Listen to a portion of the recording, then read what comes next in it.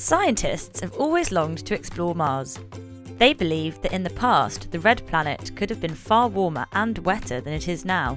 There may once have even been life on Mars. Tiny life forms such as bacteria could still live on the planet today. Many spacecraft have already visited Mars, and in the future, humans will too. To ensure a safe landing on another planet, engineers face the daunting task of slowing down a spacecraft, which can be travelling at 12,000 miles per hour when it enters a planet's atmosphere, to just 12 miles an hour when it touches down. They must also develop systems to protect the scientific instruments and the astronauts inside from the forces created at the point of impact. A number of successful solutions have been tried and tested, including retro rockets, jet packs, landing legs with shock absorbers, and even a cluster of airbags that softened the Mars Exploration Rover's landing.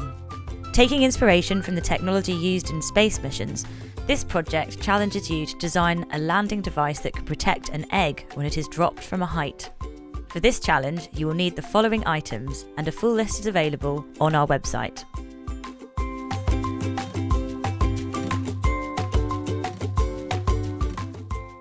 Let's get started.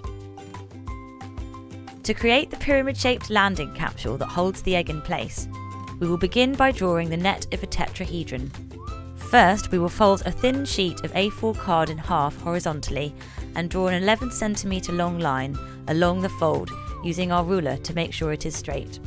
Next, we will open the compass to 11cm and position the point on one end of the 11cm long line. Then draw an arc where the pencil meets the paper. We will then repeat this on the other side of the line so that the two arcs intersect one another. This point will form the third corner of our equilateral triangle. Now we can connect the ends of the original line with the point where the arcs intersect using our pencil and ruler. Next, we will use the compass to draw three more identical triangular faces. This time we will draw longer arcs from each of the corners of the first triangle because these will form the flaps needed to stick the net together. When we have drawn all six arcs around the central triangle, we can use our pencil and ruler to connect the points where the arcs intersect to the corners of the central triangle to make four identical equilateral triangular faces. We will leave three of the six tabs created by the compass arcs and rub the rest out, which will complete our tetrahedron net. Now we will cut the net out carefully with scissors. When the net is cut out, we can fold along the lines of the middle triangle and the outer flaps. Finally, we will draw the edges of the net together and check that they meet precisely to make a strong pyramid capsule for our egg. The shock created when our landing capsule is dropped will be absorbed by balloon airbags. To attach the airbags to the pyramid, we will make a small hole in the centre of each triangular face with a sharp pencil. Now we will inflate four balloons and tie a knot in each one. Push the knotted end through the holes and secure them in place with short lengths of sticky tape.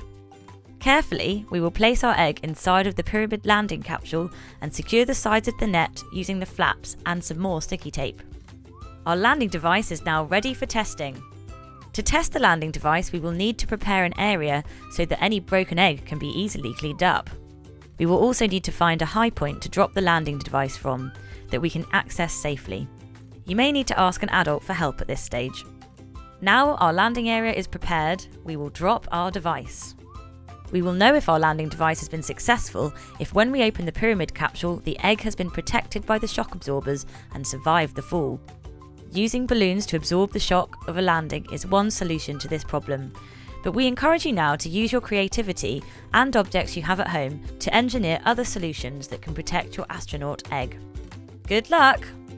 You can find out more about the science behind shock absorbers and Mars missions, step by step instructions, and a quiz to test your knowledge in our accompanying worksheet. And for more hands on projects to try at home, visit imeche.org forward slash STEM at home.